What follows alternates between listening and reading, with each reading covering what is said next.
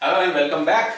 This will be now our part 3 of the solution of a transportation problem maximization case. In the previous two lectures we first derived the opportunity loss matrix by subtracting all the per unit amounts of profit from the highest one. Then in the second lecture we obtained the initial solution by VAM Vogel's approximation method.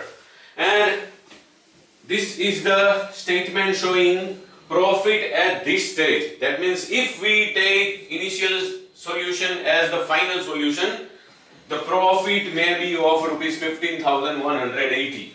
Remember, these are the opportunity losses. So to calculate the total profit, we have to multiply the units of allocation with the per unit amount of profit which is available from the matrix given in the question, the transportation table given in the question. Now, how can we take this as a final solution? No, we our aim is to reach the optimal solution. So first we have to check whether this is optimal solution or not. Before that we have to check the degeneracy, whether the solution is degenerate or not. The rim condition is satisfied or not we have 4 columns and 3 rows. 4 plus 3 minus 1, 7. That is called rim condition, RIM. And number of cells with allocation must be 6 or more. There are 6 cells with allocation. That means the RIM ring condition is satisfied. So now we can check the optimality of this solution. The question is how to check the optimality. To check the optimality, we use the dual of the transportation problem. For that purpose, we add one more column to the solution that is titled as UI and one more row that is titled as VJ. To begin with this path of duality to check the optimality, first we have to take 0 rather value of any one of the u or any one of the v's as 0 according to our choice. There are so many suggestions but I prefer to suggest you that take 0 for any one u or v which has the maximum proportion of occupied cells in the row or column. See in this row only 1 against 4 is occupied 0.25 or 25 percent. Here 2 against 4 so 50 percent cells are occupied. Here 3 against 4 so 75 percent cells are occupied. In this column 1 out of 3 1 third or 33 percent are occupied. In this case 3 out of 3 100 percent cells are occupied. This is the ideal place to take 0. Though the authors various reference books use the term arbitrarily. But some rational approach should be there. That's why I am suggesting this technique. Here 1 out of 3, here also 1 out of 3. So this column has 100% cells with allocation. So I personally suggest to select this column and to place 0 as V2. Yes, J is 1, 2, 3, 4. Here I is 1, 2, 3. Now what? On the basis of this 0 and all the allocated cells, we can find the remaining values of u as well as v. How? This is the interrelationship between C. C stands for transportation cost, but in this case C stands for opportunity loss. Okay, Cij equals to ui plus vj. This is the interrelationship. On the basis of this formula, we can derive these two formula. If we want to find u, that will be c minus v and if we want to find v, that will be c minus u. Now we have one value of v, 0. Any one value of v or u can be taken as 0 that we have discussed earlier. Now these three occupied cells can be used to find the three values, respective values of u. c minus v equals to u. Yes, second formula. C 7 minus V 0 equals to U. So U1 will be 7. C 18 minus V 0. So U2 will be 18. C minus V 22 minus 0. U3 will be 22. Now remaining values values of V can be found in the same way by using this formula V equals to C minus U. Take the occupied cell of the respective column, take its C, subtract the respective U. C11 minus U22, therefore V1 is minus 11. In this column, occupied cell is this one, C14 minus U22, so V3 comes to minus 8. And in this column, occupied cell is here, C7 minus U18, so V4 comes to minus 11. Don't bother about the positive or negative values of U or V. That is natural thing. But just be alert where there is a negative sign. Okay, now we have U's and V's. What are the uses or what can we do with the help of these U, I and Vj values? We can check the optimality.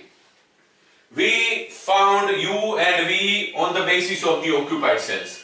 Now it is turn of the role of unoccupied cells or empty cells. For each and every empty cell, we need to calculate D. And what is D? D is also based on the same formula. D equals to C minus U plus V. And for this relationship, the right angle should be maintained. C relevant U and relevant V. This is C11 and it is nothing but total of UV and U1 and V1. But now for the empty cells, we are going to calculate the D values. This is D1A. Its C is 13 minus relevant U, U1 plus, plus sign according to formula. V1 value is negative 1. So ultimately it is 13 minus 7 minus 11 minus 4. 13 plus 4 equals to 17. The Dij value for this cell is positive 17. As far as the Dij value is positive, don't bother about it. If any value of D is negative, then it is proved that this one is not an optimal solution. That means if all the Dij values are positive, this is proved to be an optimal solution. Let's see what happens. Now second D1C. That will be 19C. Minus sign according to formula U17 plus sign according to formula relevant V is negative 8. So ultimately it will be 19 minus 7 minus 8 minus 1. So 19 minus minus 1 is 19 plus 1 so it comes to 20. Another D value came to 20. It is also positive. Now the third D1B equals to it sees 0 minus sign according to formula. Relevant u is u1 7 plus sign according to formula.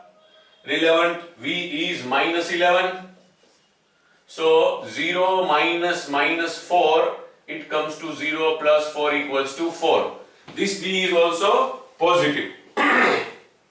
Now next row the first is empty cell d2a It's C17 minus sign according to formula. Relevant U is U2 18 plus sign according to formula. Relevant V is minus 11. So 17 minus 18 minus 11 is 7. 17 minus 7 it is 10. So that value of D is also positive. In the same row, this one is also empty cell 2C D2C. The value of C for this cell is 15 minus sign according to formula. Relevant U is U2 18 plus sign according to formula and relevant V is minus 8. So ultimately it is 15 minus 18 minus 8 is 10. So it comes to 5 and that is also positive positive 5. Now we have only one empty cell with us. If the Dij value for this cell also comes to be positive, then this will be proved as optimal solution. But if the Dij value for this empty cell comes to negative, this will be proved that this is not an optimal solution. If the Dij value comes to 0, then this will be one of the multiple or alternative optimal solutions. Let's see what happens. D3 D. C is 5 minus sign according to formula. Relevant U is U3 22 plus sign according to formula and relevant V is minus 11. So it is 5 minus 11. So it comes to minus 6. So we have with us one Dij value as negative for this particular cell. That means this is not an optimal solution. If this is an sorry this is a non-optimal solution we have to move forward for optimality. What are the steps of optimality? We have to select this cell with the negative D value that will be the starting point of closed loop and very simple rules for closed loop. Closed loop will be, sorry, will start from the cell with negative Dij value. It can move in any direction, upper, lower, left, right, but to take the turn at the next stage, it must be an occupied cell. So if we go to this cell, we cannot move any side because this is empty cell. So we have to reach an occupied cell in such a way that from where we can go to another occupied cell and so on and ultimately we come back to this cell at the last. So I prefer to go to this stage. First write plus sign in this cell minus sign in this cell plus minus plus minus alternatively. Yes, this is occupied, we cannot move that side but we have to move this side. And we have to come here only because this is empty cell, this is also empty cell. Now it is turn off after minus plus sign. Now we can go upper side but in the upper side we have no other occupied cell to get another turn. So we have to move backward. Now we have two directions. We can go here also and we can go here also. But we should not go here because from this cell we cannot go in any other direction because of empty cells. So the only option with us is to reach the point of origin and after plus this is turn of minus sign. The cells with plus signs and minus signs must be equal at each and every corner of the closed loop. Two plus signs and two negative signs. Now what? Very simple thing. Select the cells with minus sign, negative sign. Compare the quantity of allocation. The quantities of allocation 20 and 400. Select the lowest one, 20. Now what?